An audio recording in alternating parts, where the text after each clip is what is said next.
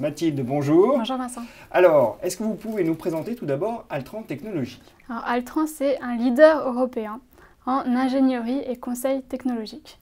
Donc en fait, c'est la recherche et développement externalisé chez les clients. Donc, quand un groupe a besoin de recherche et développement et qu'il ne veut pas internaliser ça, il se tourne vers Altran. Voilà, Altran place ses ingénieurs chez ses clients et euh, pour les aider en recherche et développement. Le chiffre d'affaires, est-ce qu'il est très ventilé géographiquement? Il y a Oui, effectivement, un bon mix, puisque euh, la, France représente la moitié du chiffre d'affaires euh, encore, hein, mais euh, tend à diminuer grâce à une bonne ventilation en Europe et à l'international à l'avenir.